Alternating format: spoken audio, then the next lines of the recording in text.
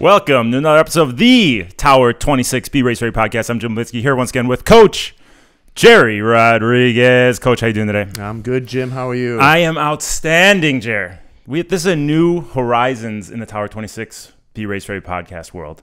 It is our first video podcast. Audio, we'll have audio as well, but now along with your buttery voice, buttery toned voice, you'll have my steamy, my steamy glare that our listeners can tune into weekly or bi-weekly, monthly, whenever we decide to record, to, to see our beautiful faces staring back at them. well, you're going to become a, a bigger international celebrity. Is that possible?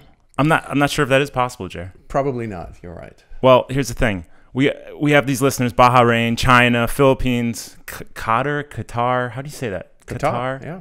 Qatar, Russia, Guernsey, Taiwan, Brazil, Australia, Thailand. These are these are all countries that are moving up fast on the list. So now they're actually seeing our faces. Well, you are uh, actually coaching one of those guys from Guernsey now. At least one. I mean, I think. I mean, how many people we're coaching now around the world? We have, you know, hundreds of thousands of athletes we're coaching on our subscription program, coaching.tower26.com. You can go to and sign up as well. And now you can see my eyes and buy into it that much more so, right? I, I, I call myself more of a used car salesman than an on-air personality. All right, boss. You, oh, we want to move on? Well, Is that what you're getting at it's here? your show, my man. So what is let's let's talk about this. What is the video podcast going to open up to the world of viewers besides seeing our faces? you know, it's interesting. First, we have to start off, and I think thank the complete most obsessed triathlete there is, and that would be Christophe. I mean, Christophe, who has written our software program, as you know, for our uh, our remote plan, is the one, the, the brainchild behind all of this, and who's sitting, you know, taking care of, of business right now, making sure this is getting recorded. So, Christophe, I want to say thank you very, very much for making this happen. This is the transition from. Remember, we talked about a few episodes. You know what? You threw it out there. You, you caught me by surprise. You said, "Hey, you know, we might, we're thinking about closing down the show, but we're moving to the video platform." Is what you were getting at? I assume you didn't. You didn't really mean closing down the show, and I'm speaking for you. Well, yes, and, and Christophe and I in the background were talking about this, but I didn't know this would come about this quickly, and now here we are. Here we are. So as you see, we have a video screen here. We're gonna be able to put up put up examples of thing of subjects we talk about. Maybe we even put a picture up there of a swimmer or two that we're proud of from a, a race. Maybe race results. There's a whole plethora of things we can do technique wise. We'll get into technique very shortly because there's a point that I want to make about technique. But technique wise, you can show what you're speaking about, and I think major major benefits to Well, the, we, we to the can do watch some viewers. pretty, yeah, some pretty significant instructional things um, that were more difficult to do over audio because you're unable to really get down to the fine nuance of can't show anything on audio but now we can actually show like we have in our videos for our subscribers we can go through and slow things down and point them out and highlight them and so on i think it's going to be fantastic It is going to be fantastic, but you know what? We're going to be that much more entertaining to our masses because you not only have the voices, now you have the looks. Amazing. but hey, so we broke down the top 10 episodes that our listeners have tuned into over the, how long have we been on there now? Two and a half years? A little over two years Top 10 episodes. The number one episode's obviously the episode number one where we intro to the show and speak about the show. The, episode, the second most listened to is technique, building a foundation, ta- speaking about talk, taughtness. yes The third most listened to is the essential ingredients to becoming a better triathlon swimmer. Then you go down to the fourth most is episode 33, open water optimization. Let's just jump through it here. There's a lot of technique in the top 10. Well, as you go through the top 10, we've got one, two, three, four, five, six, seven of the top 10 most listened to episodes are technical related. That's telling us something. and you can't forget Rachel McBride, obviously. Ma- she was Rachel. a very entertaining episode. Rachel, hello to you there. You've uh, you've made it into the top 10, which was podcast number 36. Yeah. So you got to consider that podcast has come way into the line of our, um, you know, the deliveries that we've done, and Mm-hmm. her uh, that uh, interview with her made it into the top 10. So technique is a huge thing. Our Technique's the listeners main thing. want to learn about technique. The least listened to episode, episode number 43, be present, which is the key to your swim improvement. Why do you think this is the case? Why is being present our least listened to episode? It's interesting, huh? It is so interesting. I'm uncertain. I think maybe the title is not sexy enough and wasn't able to draw in um, people to listen to it. But I think the content of that episode, as a coach, that would be one of my top five key points in um, you know encouraging athletes to when they're involved in our workouts, being fully present, emptying the mind of uh, anything non-related to what they're doing at that moment. And we went into, we sort of dived into the, um, you know, the roots of that in that episode. At least listen to one. And I think that being a coach myself, I think I don't think there's a day that goes by where I don't speak about being present in the training that an athlete is conducting. So it's very important, but maybe we have to sexy sexy that title up a little bit. And you being a former magazine publisher, I know you always have the key to success when it comes to titles. So uh, so let's change that title and get these, these listeners tune in to that one. But an episode that's doing really well is with Phil, Dr. Phil Goglia, the nutrition expert, and I know that's another topic that I go off on daily with athletes, and I think a lot of people want to tune into that. So we see that thing moving up the ranks pretty quick. We should, and he was episode, what was that? Episode number 37. Yeah. And he's quickly approaching the top 10. And um, what that tells me is we probably need to see if he'd be interested in coming back on again. Phil on the video waves, uh, uh, that guy's a ham. He would be on here in a second. Well, he would, and he's on a lot of uh, celebrity TV. Oh yeah, he's always uh, talking about his success with the Kardashians and Oh, this yeah. and that, and uh, so yeah, let's see if Phil can get in here and give us some more educational tips regarding nutrition. But last show, let's get into that. What did we speak about last show? Well, we were fortunate enough to have Mark Spitz on. You know, 1972, uh, seven Olympic gold medals, seven world records, and uh, we had Mark talk about the success, obviously, of his Olympic Games, but there was a period at, at- those games where he did not want to swim one of the events, and that was the 100 meter freestyle, sort of the marquee event in swimming. And there were a number of reasons why he didn't want to, and, and the big one being uh, there's a possibility he wouldn't win, and that may break his streak of, of winning, and he didn't want to do it. And we we dove into what happened, how long it took him to, you know, turn to the other side. You know, the boogeyman sort of got a hold of him, and then how he came out on the other side. And most folks don't know the story, but you know the outcome. The outcome is seven, seven swims, seven Olympic uh, gold medals, seven world records. So these sort of the the mental portion of that, I think, is really important, which is what we emphasize in that podcast. Talk about a voice for the audio, the airwaves. That guy's got a voice. I listened to it two or three times already. I can't get enough. Listen to Mark. He's a great storyteller, isn't he? uh, the amount that I had to see with the video podcast, we can't edit anything out. Right. I had to edit a little bit out for time's sake. Otherwise, we would I would have had a three hour long podcast. Well, we had a long, yes, it was long. He had a lot of stories in there, but he's terrific. there was it. some stuff on the cutting room floor we can we can use as B roll when we give the greatest hits or something like that. You know, By the way, he did call over the weekend and uh, asked for your phone number, so he needs some information from you. he probably wants tips on my technique, my swim technique. Why not? You know, what are we going to talk about today? Well, I want to, um, you know, we promised we uh, in the last uh, podcast to have a couple of guests, which we decided not to for this one because since we're doing the first audio, uh, uh, sorry, first video uh, cast, let's get the kinks out before we bring some folks on. So I wanted to just go through a few, you know, two or three shorter topics that I think are important that um, that comes up at our workouts and also comes up in our plan. So.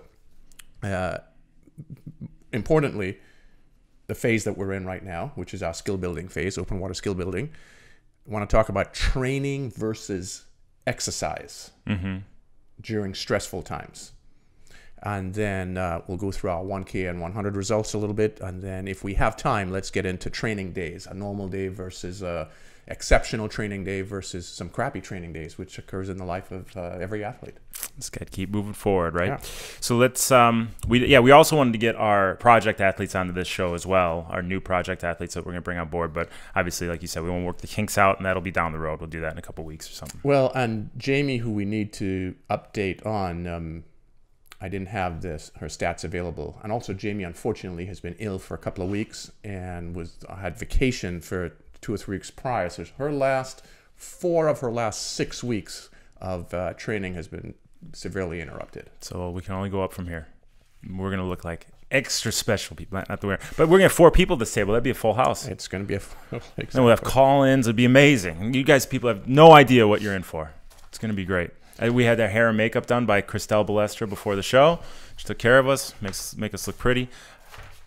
we're about. Let's get on to the first topic of today, the most important phase, open water skill Well, building. we're in the most important phase, what I consider. So we run five phases, as you know, Jim, in our um, our training plan. And this particular phase, although it's not a long phase, it's only about six weeks. I would consider this to be the most important phase within our plan because it goes through. Uh, I believe it was episode uh, three or four where we talked about the four essential ingredients to becoming a better triathlete improving your technique, um, having the right training volume, making sure the prescription of the workout, the types of workouts that you do are, um, are essential for your improvement. And then, of course, accountability. Those four things all come into this episode, uh, to, or into this um, phase this of training, phase yep. of training together with open water skill building, which Mm-hmm. are all the variables that we need for racing. So that would be sighting, deck ups, change of speed, takeout speed, change of gears, all every single component that we need to develop and the skills that we need to develop for your open water uh, segment of your of your triathlon, that those skills are taught in this phase, coupled with all the four the vari- variables. So this is the only phase that has them all.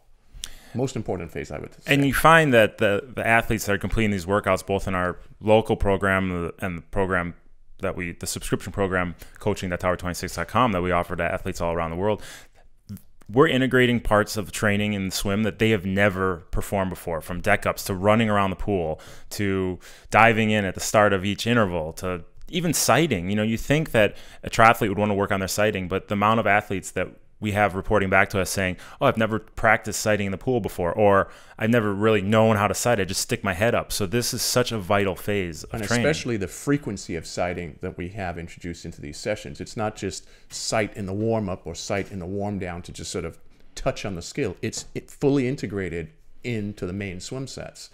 As, as you well know, I mean, if you're doing 200s or 100s, it's two or three sights per 25. So it's a high frequency of sighting. And the challenge has become just uh, and, and, and you've had this in some of uh, in some of the questions in our comment section and, and for audience that's um, that's viewing this when you introduce all of these variables remember we did a, a, a podcast um, uh, several episodes ago on um, adaptation. Adaptation takes time. So when you introduce one element it, it's going to take about 10 times which could be about three weeks. We've introduced five elements in the last four weeks. So we got to have a little bit of patience here because we're doing multiple uh, introducing multiple skills simultaneously or in a short period of time. So it is going to take six to eight weeks for these to be to, for full adaptation to occur. And then you're fully into your racing phase. And that's when it's just a matter of reaping the rewards of all the work that's been done and we're going to get to the sighting, back to the sighting in a second. But another thing that we're practicing that many of these athletes have never practiced is pace line. Getting on the feet of getting on the feet of a swimmer in front of you that might be a little bit faster and just getting comfortable in that position. That's something we now we practice at every workout. We integrate. You know, we've slowly built into it, but now we're to the pace to the place where we've added pace lining. And if you haven't practiced pace lining, grab some friends and go to the pool and practice pace line because it's a very uncomfortable feeling you find the more we do it, the more comfortable you get. I remember the first year that we were practicing this, I would, I would dread getting to the workouts because we do pace lining because you didn't know if you could keep up, you didn't know if you could get on the feet, you didn't know if you're going too slow when you're at the front. Now, you know, four years in, I look forward to every workout getting the pace line. It kind of makes it a team workout. well also a lot of this as you know is becoming uh, familiar with the discomfort of it Oh, yeah. and many things once they're new we're just unfamiliar so therefore there's a little bit of uh, apprehension perhaps right and um, with the high frequency that we do these it becomes second nature to you Yeah. but you have to practice it multiple times a week Another thing that you're stressing in our warm ups mainly is a lot of core strength, a lot of you know butterfly kicking, a lot of kicking, a lot of stuff where we're working that core strength. What does that do? Why does that vital to open water? Well, open water is highly dynamic, and because of that, we're, we're going to need more core strength. Someone's going to say, well, why are you doing butterfly kicking? This is not competitive swimming. You don't need to swim butterfly or backstroke or breaststroke. Understood. But butterfly kicking gets literally to the core of your core, and that is concentrated um, use of uh, you know of your lower stomach and, Yeah, uh, yeah. and upper stomach muscles which are needed to hold good body posture, especially in a dynamic environment, relative to the pool. So, because the racing is in open water, we need to develop the core more. Mm-hmm. We also need to have more power. Uh, you don't have the nice, fat, juicy lane lines, the 50 meter or 25 uh, yard pool or 25 meter pool. You've got a big body of open water, highly dynamic with lots of folks in it. So we need Mm-hmm. to do the things to build out specific muscle endurance and strength and build a core up. Yep. This is the time of the season because we're now in, moving into the race phase. And you see a lot of athletes, especially when they put on the wetsuit, they forget that their core is even there. They just let the wetsuit take all the buoyancy. They lose all their tautness. So now, by what we're doing is integrating that core work and you know that tautness into their swimming day in and day out. Yeah. They can better relate that when they put the wetsuit on. This phase is a, I mean, a massive injection of multiple ingredients. Mm-hmm. And if, the, if there's a time to join our plan, Yeah. if you only had three months to commit to swimming, this is the time to do it. Although I hate to sort of, you know, position our plan that way because I look at this more of a, a macro year long type Mm-hmm. thing. But if you only had three months, these are the three months. So, what would be the most interesting set you uh, most interesting interval that you could design? So, first you dive in, race takeout speed in a pace line, sighting three times every 25, right? At the end of 50, you deck up, you run around the bleachers, you go for a little 10 second run, you dive back in. That, I think that's integrating everything into one interval, right? Dive Well, in, race takeout speed, pace line, sighting. And the other variable would be to have somebody um, dive in right behind you. Yeah. So they would draft. Okay. And then if you did the deck up at the end and climbed out, then you could have them go ahead of you. They would dive in, you'd go behind them. So then you get to draft while they're leading out. Yeah. So you switch off, so you add another variable in there. So we, we added lots of variables into into the mosaic of the main mm-hmm. set. And it sounds overwhelming, but once like the way you've built them in and, and integrate them in, into the set weekly, by the time you get to you know fourth or fifth element being added in, everything else is second nature. So it's not really that much. Well, six weeks in, which this is about the length of this phase, the adaptation will occur. Mm-hmm. As you saw in the comments section, many folks were, you know, stating Oh, this is a little bit difficult, but they've done it once or twice. You Mm-hmm. need to do it about 10 times, which is about three weeks, right? And yeah, yeah, and it makes swimming fun. I mean, it makes it really fun. It's not just cranking out lap after lap. It makes it, and I hear that time and time again. Like this was a really fun set because of everything you've added into Yeah. it. so that's what this phase is. It's the most important phase of, uh, of the season. And I wanted to make sure we sort of touched on that. And Mm-hmm. So something that we could show on our video podcast is how to correctly sight. I don't know if we want to do that right now, but we could show the viewers how how is the right way to sight. Do you want to show the viewers? Well, do we want to do that? Well, we can do that. Better yet, why don't we get the video that we've uh, we've created for it, and in the next episode We put it up on the. we put it up. I feel like the weatherman or something like that. Yeah, put it up, and then we go through and we could slow it down. We can actually do it in uh, in almost tenth of a 2nd increments, and. Gotcha. really slow it down and sh- show all the elements that go into sighting. Gotcha. Because there are different sighting styles, as we're seeing in the comment section, Yeah. and folks are sort of stuck on the water polo style or the alligator eyes and all these things that really Yeah. are not We had an important. interesting comment. Sorry to cut you off, but from an athlete who's blind in one eye, Yes. and he has to change up the way he did it. And I knew that I know that we're the way we are. We, teach the way we want it to be done, but that's an interesting. That's interesting too. We might have to cover that. Not sure how we're going to do that. Might You have to watch him swim. comment to that. I read one comment, but I don't know if you replied again. Yeah. So it's interesting. Maybe we'll have to bring him on the show or something because it's uh, it was interesting. One eye might have to make some modifications, right? But uh, but then we want to get into training versus exercise during stre- stressful times. You know, You know- what's the difference? Well, I, I think we need to relate this to life.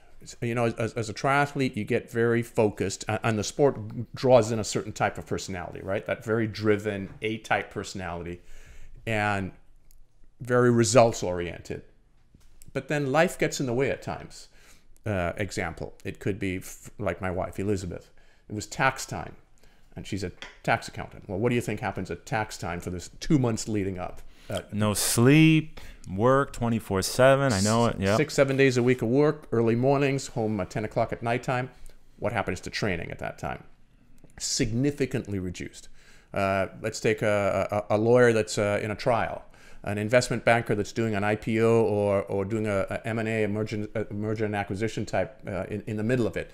You're, you so many hours are being devoted to your job. Um, a family crisis, uh, uh, a terrible sickness in a family, a death of a family member, something very, very emotional and mm-hmm. significant. That extracts a lot of your time and a lot of your emotional investment mm-hmm. that you can't put into your sport, or nor that, nor should you. So we have to be able to lens shift, change from thinking I'm in training mode that I just need to get some exercise. So related related specifically to the swim here, the person that swims three times a week that's in our plan, that's doing two A sessions and a B session as an example, maybe they can only swim twice a week. And maybe it's only 45 minutes. Yeah. So we try not to, to think we have to accomplish the whole menu, okay? Mm-hmm. And then we have to recognize, we have to look at this as exercise because we don't want training to create an additional stress. We want the training, in this case, exercise. I'm going to swim just for stress relief. I wanted to help my situation rather than create an additional load on, on, on the system. So, like my wife, for instance, you'd get all, I'm going to miss the workout. Don't worry about it. Sleep in. You went to bed at 11:30 last night. Sleep in. Come on the weekend, get a 45 minute or a one hour session in. So I think it's important to recognize when you're in training mode and when you have to, because of the demands uh, of life at times, be able to pull back and switch to exercise mode. Mm, That's a really good point to make because you hear so much. You hear some athletes say, "Oh, I have to train today. I have to train. I have to get up at 4 a.m. to train so I can take my kid to school, then go to work all day, then come home, get my kid, go to Cub Scouts or whatever, like baseball games, and then I have to train at night again." Whereas you're right. You know, get in there, get as much as you can in 30 minutes to be that outlet, as you opposed to having to do And it. you sort of start beating yourself up a little bit because you don't hit your workout times. Example, whatever your time may be, 10 100s, and you normally swim at 130 pace. Well, at this, while this is occurring in life, you can't hit the 130 mm-hmm. pace. You're going to hit, in fact, it, the times don't even matter. yeah. This is where you need to complete do a lens shift and mm-hmm. move away from performance and get down to I just need to use my swimming or biking or running as therapy. That's it.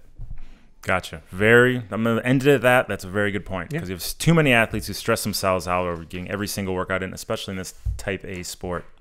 Right. That's what I'm gonna do with our papers from now on. I'm done with them. I'm just gonna check Toss them. them out. Just crumple We're, them up we're and sort of old them. school here with paper versus computer, huh? I like it. I like it. We keep it real. That's what I say. Um, we have a lot of uh, success on our 1K time trials that we just did. Uh, when was that? Three weeks ago. We did that, uh, yeah, about three or four weeks ago. So our athletes, both our local athletes as well as our subscription plan athletes, coaching.tower26.com. Hey, Christoph, we have that awesome graphic you could put on on the uh, screen, right? Coaching.tower26.com. I'll point down to it. See the graphic? Christoph has been working hard on this graphic. So coaching at tower26.com, we have these athletes have taken they, back in February they did their initial 1000 time trial and then their 100 time trial. And then we redid the test, was it, a third week in April? We did redid the test to see their improvements over time or we didn't really have any lack thereof improvement, but if they had a lack of improvement, um, to see what they did in those two, three months since the initial time trial. Right. So we had a 13 week training uh, phase, Okay. which is our uh, the second phase of our five phases, and that's our what we call our foundational phase, which is really where we do sort of the ramp up of training. Right. Lay down the a little bit more volume and obviously some intensity, and then we measure again at the end of that uh, phase to to see what the improvements are like. Mm-hmm. And the importance of doing that, there's some folks who don't like doing time trials because you have to lay yourself on the line. But the value of doing it, from my perspective, if you're not improving and you've really committed, meaning you've shown up to all the workouts, you've done what the coach has asked for, and you do get sleep and your nutrition is in play, if you haven't improved, we need to be fired. Mm-hmm. It means we haven't done our job well enough. Right. And it's a real way of measuring how we're doing, importantly, so the athlete can make a change and get new coaching. Mm-hmm. And that's a big, big reason. And then for the athlete, it's also to measure their responsiveness to the plan that they're on. and we had some i mean some massive gains from you know four minutes all the way down to you know 10 seconds or whatever but we had some massive gains throughout so do you want to go through that a little Well, bit there are few folks that, I mean, let's take Ken. How, how would you say this, Jim? I'm going to let you. Boutelier boutelier Yes. boutelier my close my close christoph All of these, by the way, uh, are are these improvements are done within the last three or four months. This year, 2018, Ken improved from 22 minutes and 14 seconds in his 1K to 1818. It's almost four minutes. I mean, pretty is massive, improvement. Four minutes Yeah. is huge. Uh, look at Colin. Colin is three minutes and 37 seconds from 21.55 to 18.18. Uh, Christian, who I, uh, have started, I don't think you have it there in yours, but Christian had a two minute improvement. And what was really significant about Christian's improvement, uh, Burkadal, is that Christian was 17.11 to 15.05.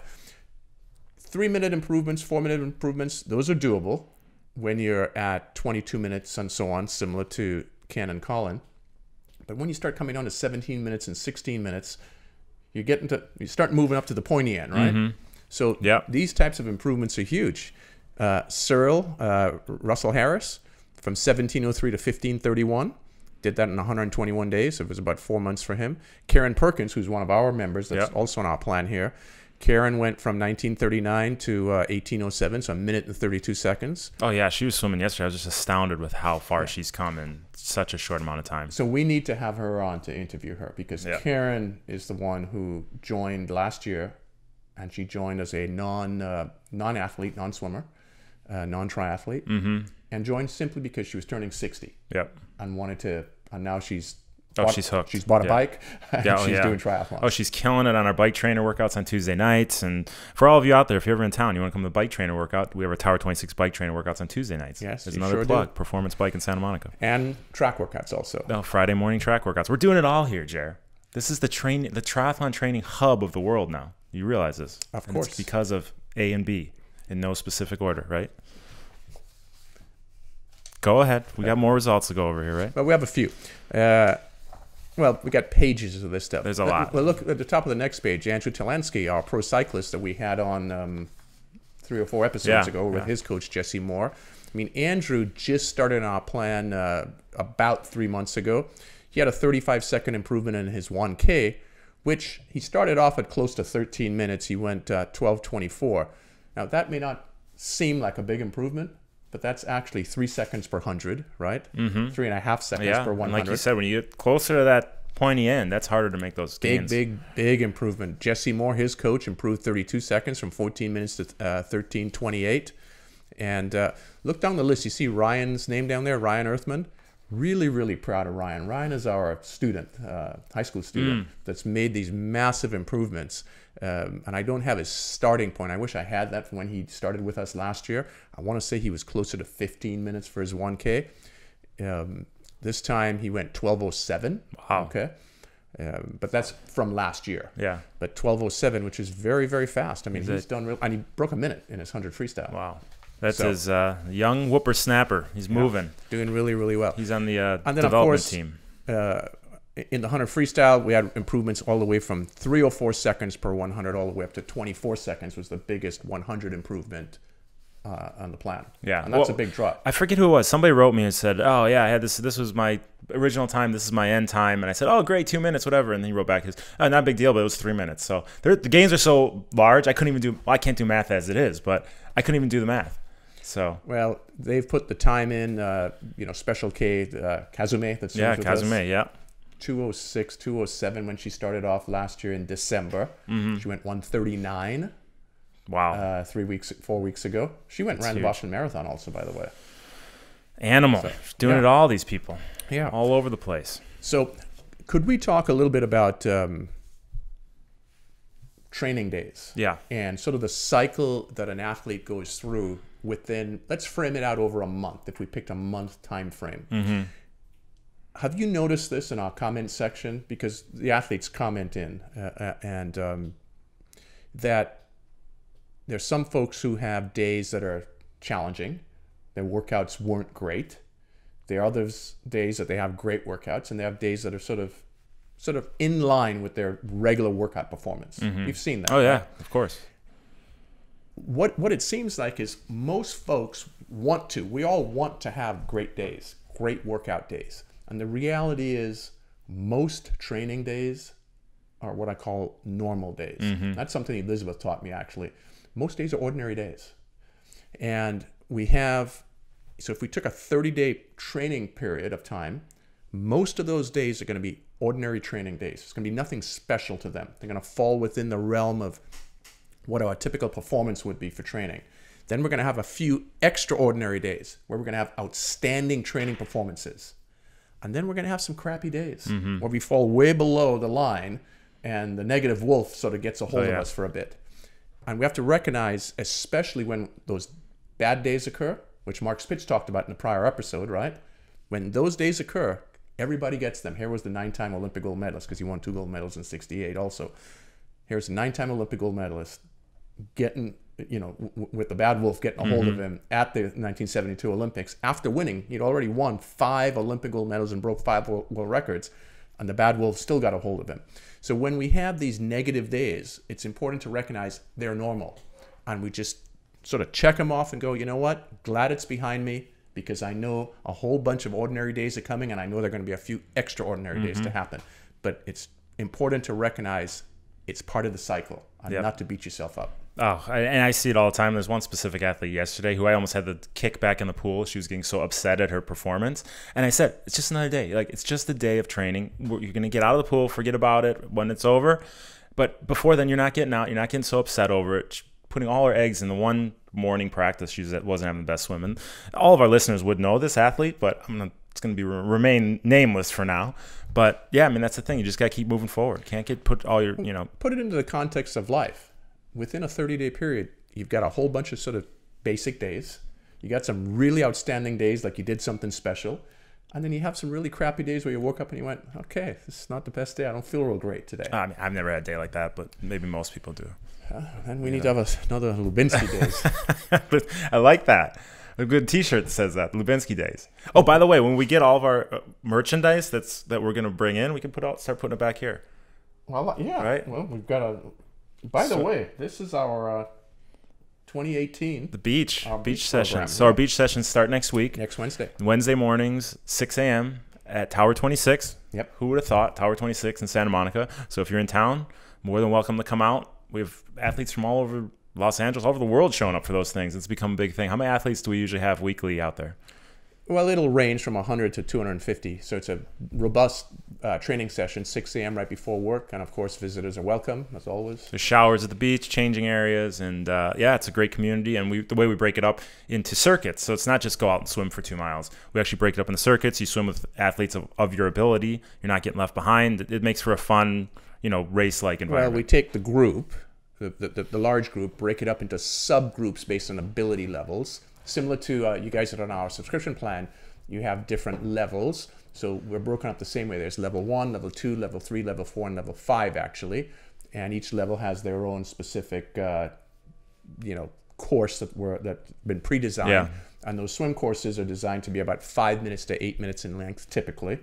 And then all the ingredients are built in race start, takeout speed, sighting, churning the buoys, Pace lining. pace lining. Yep, we get it all Lots of people because because it's a, a large group. and then know, running out of the water, transitions. I mean, you get it all. So, um, so it's fun times. If you're in Santa Monica on Wednesday morning, more than welcome Call at 6 a.m. Let's get to the workout of the episode, Jer. Workout is brought to you by coaching.tower26.com. Jer, what are we going to? What, what's the workout today? What Well, are we going to talk know, about? We did this workout um, earlier this week, and I thought I'd pull this workout because this workout has a number of the ingredients in it that we talked about earlier in the episode here that has endurance training, power, speed, skill building, all the open water skill building uh, elements, and so on. So it's a robust workout, but with sprinklings of all the pieces that go into this phase. So typical stretch cords, and that's we have a video on uh, on our YouTube uh, channel that's opened up. So we have about a hundred videos on our YouTube ch- channel, but unfortunately, only and I don't know the number. Less than ten are made available to the public. The rest are for our subscribers. And you're also going to find this video podcast on the YouTube channel as well. So this will So Christoph will put it on the YouTube channel once once we finish, complete it, cut it, done. It'll be on the YouTube channel as well. So Perfect. So uh, we have a number of those videos on there, but one of the open videos that's um, that's available to the public is the one on uh, stretch cords and how to execute uh, and do the stretch cords properly. So I'd like you guys to take a look at that. And that's how you'd start off each of our sessions, our workouts. Then we did a warm up, and without all the details, we should just send people to the website so they can see Yep. uh, see the workout. Um, but we had two segments of warm up. And for the purpose of time here, let's get into the sec- second segment of warm up, which is where we did kicking with fins. And a lot of that kicking was butterfly kicking. And the reason, again, is core work. Core strength. Yep.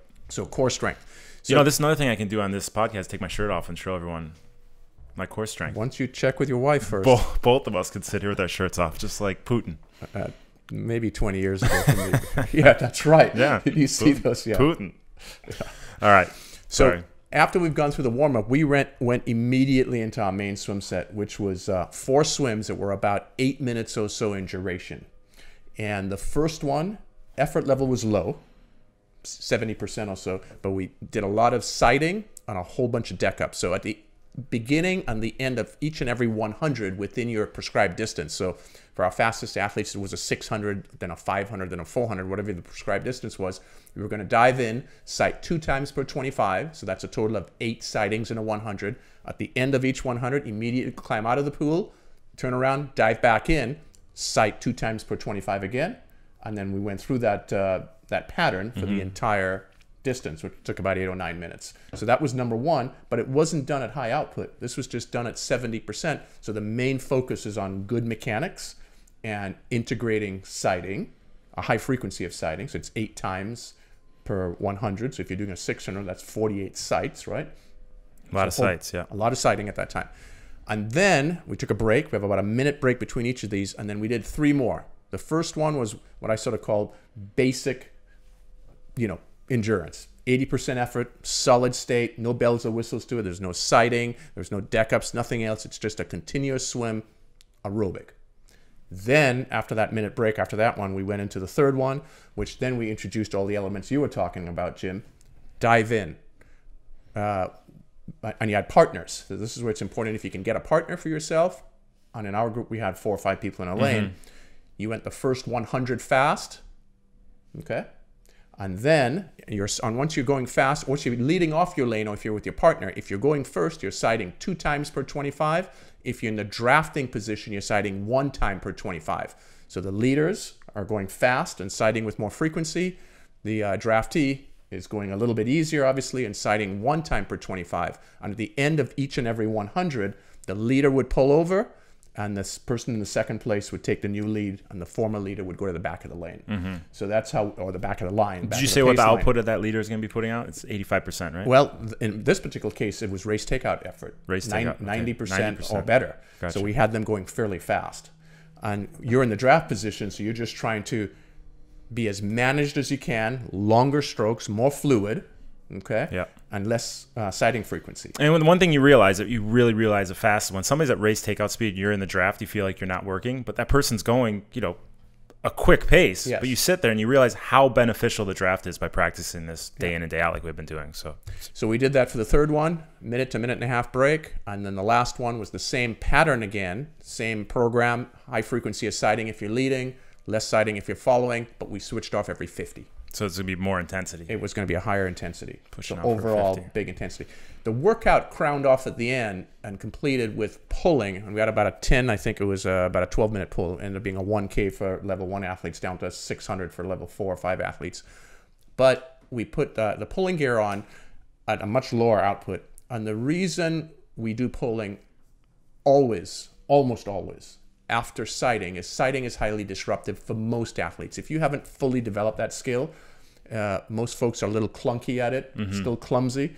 Uh, it's important to go back and make sure you you integrate really good swimming mechanics. I don't like to swim end swim workouts, uh, and swimming in itself is so technical. I don't like to end a workout on bad mechanics, and we generally don't have our best mechanics when we're swimming fast and doing sighting.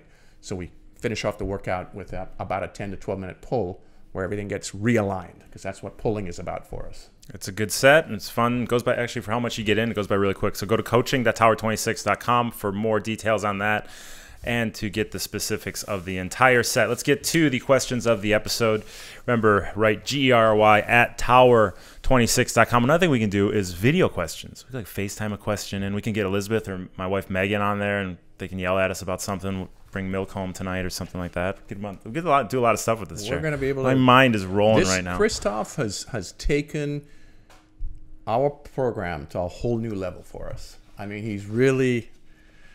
Thank God that he Thank is God. the obsessed Thank God. triathlete. So now what we do is get T-shirts with his face on there. Uh, I'm all about T-shirts today. Check with Christelle So first. Yeah, Chris, yeah, Christelle and Christophe. Christelle and Christophe. Christelle, that's my warm up. Christelle and Christophe. Christelle and Christophe. They're married, and I don't think they even liked each other. They just think they liked that they had the what's the alliteration in their names. You know, every time I see Christelle and Christoph coming to workout, which is typically at our 11 a.m. sessions, they park their car. hold hands. You know what? They're always laughing. I mean, Yeah. and they've been married Yeah. 20 years or something. 20 They're years, always yeah. laughing. I mean, they have a wonderful, wonderful relationship. Yeah. Well, you know what? Thanks to him and all, all this stuff is because of him. So uh, we owe it to him. But So, Christoph, thank you very much. but I will not give him credit when I'm big time in the lights in Hollywood. You know, I'm not going to give him credit. I'm take all the credit myself. Hey, first question's from Michael Rosado. Hey guys, I love the podcast. I'm so glad I somehow discovered it and have gone back to the very first first podcast and listened to every minute of every episode in order, and it's been great.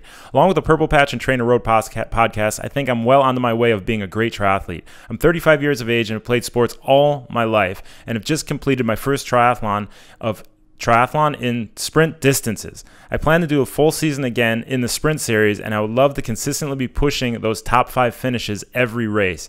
I've done a 1K time trial. I haven't done the 1K time trial yet, but my all out 100 meter time in a 25 meter pool is about 1 minute 28 seconds. I swam three times per week consistently, with each session between being between 1.8 kilometers and 2.3 kilometers. I'm definitely interested in signing up for the members membership and following the workouts, especially now as my off season begins. I would love to start from the start and do everything properly. Can my program be started from the start, or do I have no choice but to join in and follow whatever you guys are currently up to? Regards. All right, Michael, uh, thanks for your question. Michael from Australia. Uh, let me make a couple of comments before I answer the question. 1.8 to 2K per session, Michael, that is uh, uh, fairly elementary, Low. right? Yeah, low, low, like, volume. yeah. You would need to increase, and although you have a good frequency of two to three times per week, if you're going to be stepping up and want to have good performances, you need to increase your training volume. That is a very, very low training volume. Regarding your specific question, uh, if you're looking at triathlon as a lifestyle and to build this in for a long duration, several years, it does not matter when you start.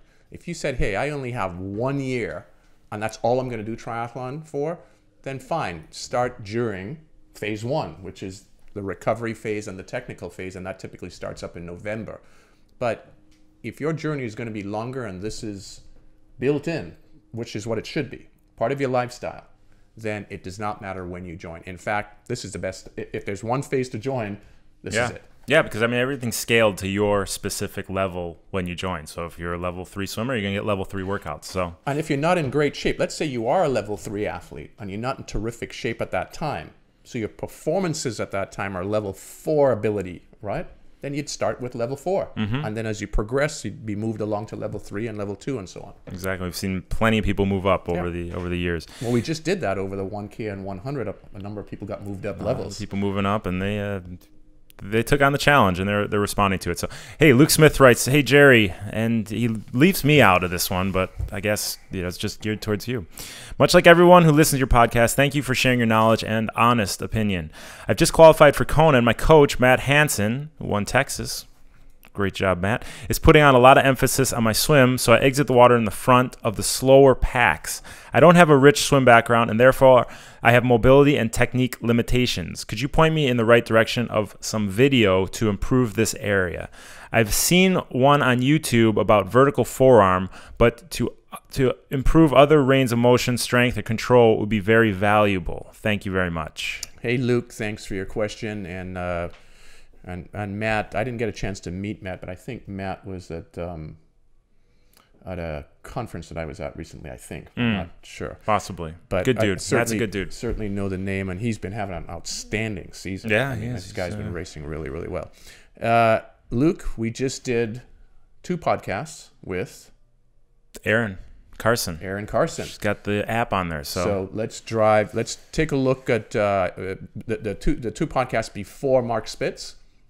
Are Yep. the interviews with Erin and Luke. You can go on listen to those. Uh, Erin's um, website address is on there, and also her app address. And I would uh, Yeah, she opened the app to all of our listeners, so that's a cool. And the mobility and strength on there is very beneficial. So start doing that, start integrating that into your plan. You'll be set to go, Luke. And uh, as a reminder, Luke, early vertical forearm is not important for triathletes. And you can go back and listen to that episode. That's probably Yes. in the twenties about our disdain for early, early vertical forearm. It's another T-shirt. No early vertical forearm.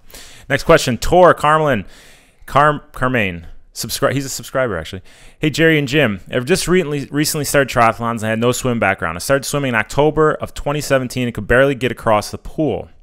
I had no coaching and swam about two to three times a week. I dreaded it. My first triathlon was Olympic distance on March 18th, and I managed to finish the swim in, at 224 per 100 meters. Needless to say, it was not a great experiment. Experience. I started your program in the middle of April this year. I was I signed up for Gulf Coast ha- Gulf Coast Half Ironman on the 12th of May, and I was very concerned about the swim. Now I swim three days a week and I see vast improvement. So yesterday was the big event. I was so confident for the swim. I turned out it, it turned out to be the best segment of my day. I finished in 39:30, which was which was 205 per 100 split. I felt great and had a great start to the bike. Your program is incredible. Thank you so much. I feel like a different swimmer. And Tor has been he's been really dialed in the training, so it's cool to see that, that Yeah. he's seen when he puts the pen to paper. Hey, Tor, thank you very, very much for actually sending your comments in. Um, this is a massive improvement. I mean, this is 224 per 100 meters down to 205, and the 224 is in a pool. So you've got the benefit of calm water, walls, and so on. Then you go to 205 open water. Uh, big, big improvement. So fantastic. Thank you for recognizing us. But keep up that great work. yeah. Congratulations. I mean, I see him making a lot more big gains because he made fast gains and he's so dialed in and focused every session. It's exciting to see. So he is present. he's present, right? Just like episode 37 talks of no, episode 43 talks about. Go back and listen to that. Next question is from Christina King, also subscribes to the plan. Hey Gerry and Jim, she gives me the love on this one, unlike Luke. Just wanted to say thank you for offering your fantastic subscription program and continuing the Tower 26 podcast. And she actually uses a heart emoji in the question. I had great result at Wildflower as a fourth in my age group. What I'm most happy about is the improvement I'm making on the swim. I had a 4017 personal breast best at this distance. Even though I missighted a bit and did some extra yardage, I haven't even really gotten to work on my open water skills yet. I definitely felt stronger and fresher on the bike, and I'm really look, looking forward to the next segment to work on my sighting and keeping the momentum in the open water. I appreciate the time you take with the educational content on all the workouts, especially the audio files and video. This really helps since I mostly swim on my own. I can hear your voice in my head telling me something like no gaps. I love showing up to the pool mentally prepared, workout in hand. It's also amazing how you keep track of so many swimmers through the comments section. Thanks for the care and attention you give each and every one of us. I've made more progress in the last 6 months than in the last 4 years combined and if and were it not for your program, I would still be frustrated with my slow times and letting the bad wolf tell me I'm a terrible swimmer or I'm too old to improve. Time to let that go. I did listen to the audio files and watch the sighting videos. Can't wait to see how I progress over the summer months. I've got Ironman Mont Tremblant in August. Which I got Ironman Mont Tremblant in August. Do you? I'm just doing all of them, Jared. Well, you, Why this is a big year for you. I got to do them Yeah, all. a lot of You know, racing. maybe I don't have to do them now all now with the video podcast. I don't have to go anywhere. Go to Christoph's house. Christina, thanks very much for your uh, for your comments. And um, Jim, we met Christina. Yeah, we Uh, did. Remember, musician. Oh, yeah. Came down and spent uh, about a week with us. In fact, went to Mike Collins, sent her to Mike Collins, who we also had as a guest in our episodes back when, and um, to, to go get some technical instruction. And uh, these are big, big improvements. Interesting. I, I, I just highlighted uh, one of the comments you were reading. I've made more progress in the last six months than in the last four years combined, if it were not for our program. So thank you for, for stating that. But here's the important, what I think is even more important. She's not repeating that mantra that I'm a terrible swimmer any longer. You've made some progress. You've broken through that, that plateau of several years. And now you feel better about yourself. You're, there's a little more, you're more proud, mm-hmm. right? You mm-hmm. want to actually go to the, she has a more positive relationship with swimming and she wants to go to workouts and, and show off, you know, mm-hmm. continue to improve. So this is it's Yeah, wonderful. just walking around, So Thank chest you, out, Christina. confidence. It's about Christina. David Simpson from Australia. Hey Gerry, I live in Newson. I'm planning on, to race Ironman Western Australia in December, so I have six months to train. I'm currently using Matt Dixon's preseason plan from his recent book, and I will transition to his 14 week Ironman plan when it's time. I've listened to all your podcasts and made improvements using your advice, and I would like to become a subscription member. My question is I swim Tuesday, Thursday, and sometimes Saturday in the afternoon. I want to commit to at least your two A sessions plus the B session, but I'll get the session before I'm due to swim. But will I get the session before I'm due to swim in Australia? Also, will the sessions integrate with Matt Dixon's biking and running sessions? I imagine they would since you seem to have similar thinking. P.S. Tell Jim he's very funny. So that's at least four people, including my mom, who think that I'm funny now. Including his mom, your mom. My mom, yeah, Yeah. my mom thinks I'm funny. I don't know who the other two are, but okay, Dave. I appreciate that. Well, that's your I don't mom, hear that very often. Your mom, so your wife, and me, maybe? no, Megan does not think I'm funny. There's two other people that we that wrote in. No, she doesn't think I'm funny. Oh, She wow. doesn't never laughs at me or anything. Very yeah. She just says, "Get out of here, get out of my face." Hey, I appreciate that comment though, Dave. David, thanks for uh, thanks for your comments and your questions. Um, so Matt and I have a long-standing uh, professional relationship and a good friendship. We've known each other for many years. Uh, many of Matt's uh, his uh, philosophy anchors are, are aligned with what we do at Tower 26. In fact, a number of Matt's athletes from Purple Patch are on our uh, plan already that he has sent over for various reasons. So there is an alignment that I don't think would be a problem. And, but however, you would want to chat, uh, check with Matt first, as I do Yep. always tell our subscribers to talk to their coaches. Some coaches are um, in favor of being on our plan, some coaches are not. Matt would be one of them that's typically in favor of uh, his athletes being u- using our swim program. And, and part of the reason for that is I coached Matt many years ago when he was a professional triathlete, so he knows about the program, and we've been, you know, good, uh, you know, good, have terrific professional relationship.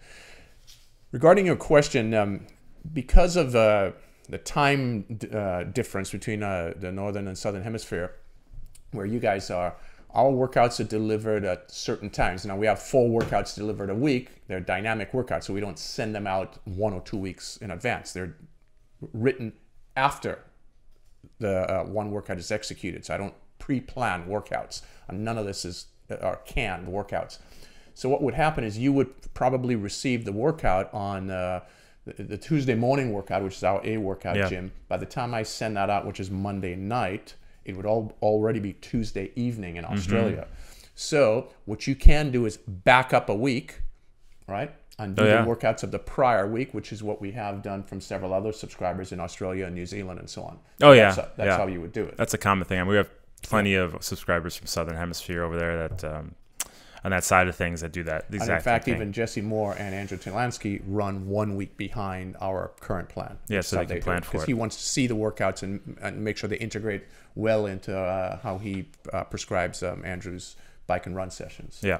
So, but Well- David, do check with Matt. That's your coach. Otherwise, it's like if he doesn't tell Matt, it's like cheating girlfriend, right? We don't want to go there. All right. Hey, let's uh, let's move on to what we're going to talk. Well, thanks for writing in. We're gonna move on. We're getting a little long in the Yes. tooth with this one. So uh, remember, write in gery at tower26.com. What are we going to talk about next show, Jer? Well, I think we let's let's take a review on this episode since this is our first time in front of the camera. Mm-hmm. See how we did. Take an inventory. Amazing reviews, that's for sure. um, I will take an inventory at least. um, and let's make sure that we're ready to actually have guests on. Yeah. I would like to have Karen, see if she's interested in coming on, and uh, Kazume, uh, Mm-hmm. Yeah. you know, the two ladies we talked about. And if they're available, and if we've done a good enough job at this, then let's see if we can do that. Sounds good. And we will be streaming this on Facebook on our Tower 26 group page, the public group page. And then once it's done, we're doing it live on there, we will upload it to YouTube so it'll live in infamy. Infamy. Is that the word? Infamy? Whatever you say. It'll live on forever on YouTube so we can just you can just go back and watch it over and over and over and over and over and over again. But it's been a great one. I love it. I love this new setup. Christoph, thank you for everything. Tell Christelle thanks for letting us bum around here for a few hours today, and uh, we look forward to the new Tower 26 video studios. For Gerry Rodrigues, Christoph Balestra, this is Jim Lubinski saying, have a great day. The Tower 26 Be Race Ready Podcast.